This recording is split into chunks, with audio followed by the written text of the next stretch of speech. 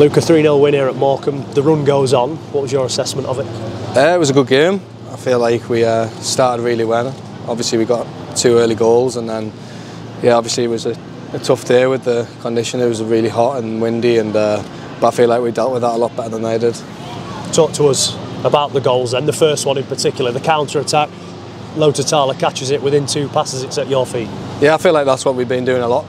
Uh, recently, we've been a lot better on the counter attack, and uh, see Hux has got the ball down the wing and uh, put a great ball in, and then luckily I just was able to finish it.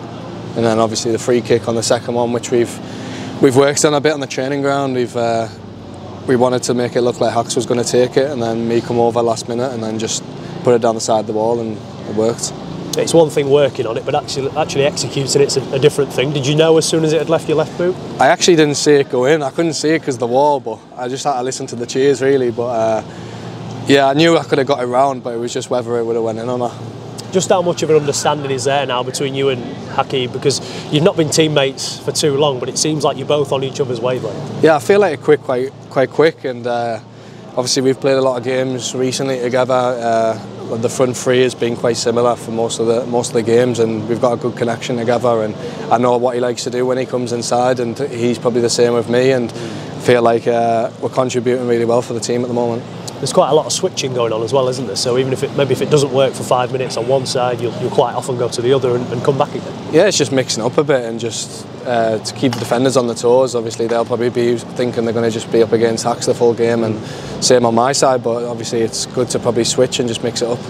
Eight goals for the season now. Have you got your eyes on double figure mark?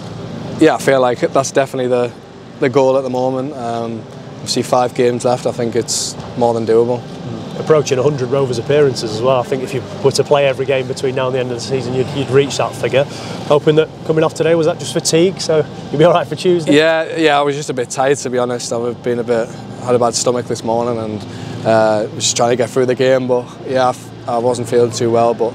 Yeah, it was just fatigue more than anything. I feel fine, legs are fine, um, no injuries, so yeah, go again on Tuesday six wins on the bounce, four clean sheets on the bounce to go with it as well. What just sum up what the dressing room's like to be a part of right now because you've been a you know a part of this team for two years. Last season didn't go the way anybody wanted it to. How different is it now compared to say 12 months ago? Yeah, it's been brilliant, especially the last few months. It's obviously it's always been a good changing room every time the whole time I've been here, but recently it's just been top draw. Like the lads are all really close as a group. Like there's no groups. Uh, yeah, like everyone's so tight knit, and it's obviously shown on the pitch. And I feel like we've got that connection on the pitch, and everyone's everyone's just clicking at the moment, and it's uh, it's good to see. How well's the manager done to work on those combinations on the pitch? Because you don't you only have to look so behind you for the connection with Jamie Sterry. You know, you've got Owen Bailey on the inside, who's from the northeast as well, and and that can help, can't it? When you've got players on the pitch who you're close to and you know off it, you're always going to perform well on it. Yeah, definitely. Obviously, like you said, me and Stez have played with each other for years now, so we both know what each other like and don't like, and you just feel comfortable with someone like that behind you. And then obviously with Bales as well. Obviously, I've known him for a while, but this is the first time I've actually been able to play with him, and he's been brilliant this season. He's been obviously he's all he's all over the place on the pitch, and he's been a top draw, and uh, it's just good to see. And it's obviously like you said with all the stuff that goes on the pitch and what we work on the training pitch, and it's just like it's so good when you see it come off. Owen stole the limelight with a winner on, on Tuesday. Only right that you were to go and get a double today to take it back yeah, my turn today, my turn. well done today. Cheers, thank you.